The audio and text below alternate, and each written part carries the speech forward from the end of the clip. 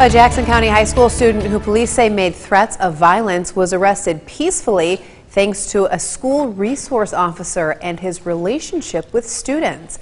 It's our top story at 6. Thanks for joining us. I'm Lauren Thompson. And I'm Sherry Jones. Back in December, a 20 year old student was expelled from Napoleon Community Schools after a domestic dispute. Now, police say he was upset that he couldn't attend the graduation ceremony, so he made threats to the school and staff. That triggered an investigation, and the student was arrested without incident. Darrylin Horne is here for you tonight with more details on how this all unfolded. Darrylin? Sherry Lauren, 20-year-old Nathan Mann is in the Jackson County Jail after making threats to the school through phone calls and on social media. Police say it started after Mann was expelled from school last December and just recently learned he wouldn't be able to participate in the alternative high school's graduation ceremony.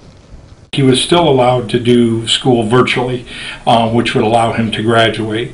Um, and then as it got closer, he began to be concerned that he wasn't going to be allowed to walk graduation and take place in, in those things. After that, police say students, school resource officer Mark Hodshire, and a principal at Ackerson Lake School began receiving threats. He basically was going to shoot up the faculty uh, if he was not allowed to walk and allowed to graduate. He even admitted once he'd been arrested at the jail and interviewed that uh, he told uh, Sergeant Hodshire that he was going to stab him in the neck or in the back and that he was going to shoot uh, the principals at Canaan.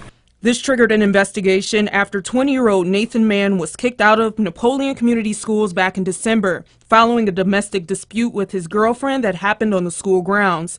And with enough evidence from staff and students, a search warrant was issued for his home. We recovered a, a shotgun, we recovered several knives, uh, a sword. But officers found more than weapons. There were a lot of uh, uh, very hateful uh, type uh, books ideologies, a swastika on the uh, hanging in his room, a flag, and some other information indicating that he he is I wouldn't say pretty close to a white supremacist. I would say. Chief Pittman says because school resource officer Sergeant Mark Hodshire has a great rapport with students, he was able to gather a lot of evidence others may not have found. Having such intimate knowledge of all of the people involved because he'd been dealing with him obviously since February and even before that, hard to say how many lives were saved by his actions.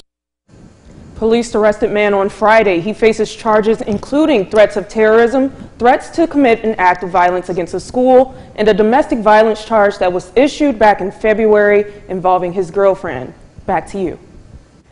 Thank you for that, Derek.